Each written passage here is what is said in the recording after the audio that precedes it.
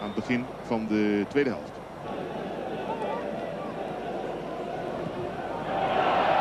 Numan.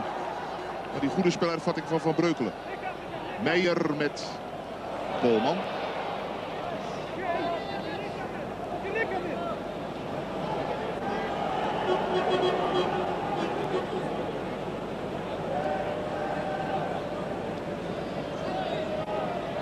Hoekschop. PSV Koeman. Heel kort op Numan. Driesen. Nu is er ruimte voor VVV. Dit is Verberne. Kan een leeppaasje geven. Nu terugkrijgen. Ja natuurlijk. Van Graaf.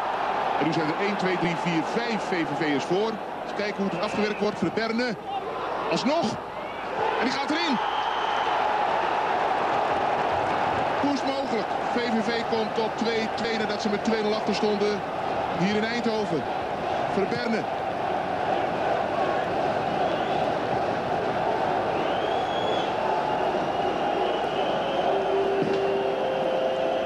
Hier is die aanval onderweg. Graaf die uitstekend Verberne aanspeelt. Let ook op Van Breukelen. Die ziet dat er ellende aankomt. Verberne met wat geluk. En dan door de benen gespeeld van Van Breukelen. Daar kun je als keeper natuurlijk helemaal niets aan doen. De score is wel 2 tegen 2.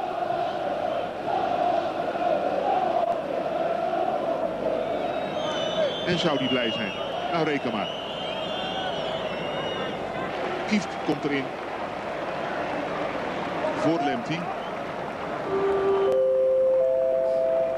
Kieft die amper meer een basisplaats krijgt toegewezen van Aad de Mos. Driesen die doorkopt.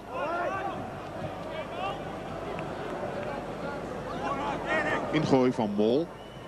Meijer die goed doorkopt. Hoekstra is weer Smits. Te snel af. Hoekstra. De paal.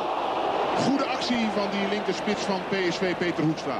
Het is nog niet gedaan met die aanval van PSV. En de kopbal dan van Kieft.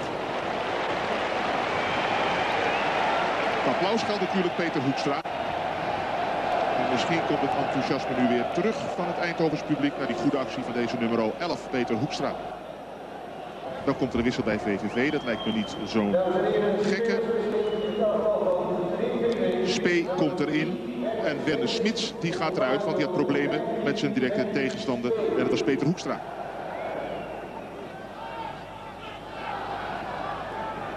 Bal blijft binnen van der Gaag. Koeman met een lange bal. Kieft moet die bal koppen naar Hoekstra. Goed gedaan van Kieft. Technisch moeilijk om die bal voor de voeten van Hoekstra te koppen. Het lukte hem bijna. Kieft. De blauwe. Is goed. Prima paas van Kieft op Verhagen. Kalusja is voor. En dan is daar Erik Meijer die kopt. En die brengt PSV op een voorsprong. Het goede werk is natuurlijk vooral, denkt u nog even niet aan die goal, maar denkt u aan Kieft. Want die gaf een schitterende paas naar rechts. En daardoor ontstond al die ellende voor VVV. Dit is dus Kieft.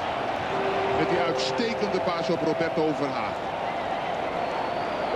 Die wacht dan misschien iets te lang zou je zeggen met die voorzet. Maar goed, daar komt hij dan toch.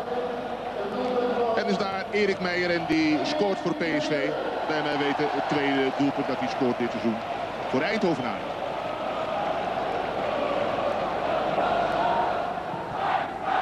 Lange bal van Spee. Torken.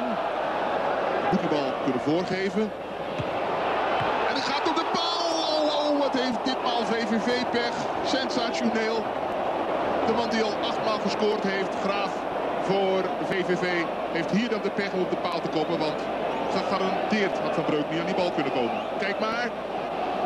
Komt hij bij Torken. Die geeft die bal overigens heel vrij voor, ook dat. Heerlijke dode bal om in te koppen. En dan zomer op de paal. Dan maakt Curver zich weer kwaad. Het is zo slecht voor de bloeddruk.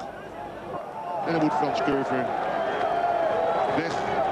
Die felle, aardige coach van de VVV. Die snel geëmotioneerd raakt. En Wegereef schat dat niet goed in, voor mijn gevoel. VVV mag nog even ingooien. Doet dat nu ruim twee minuten in blessuretijd. Rooks.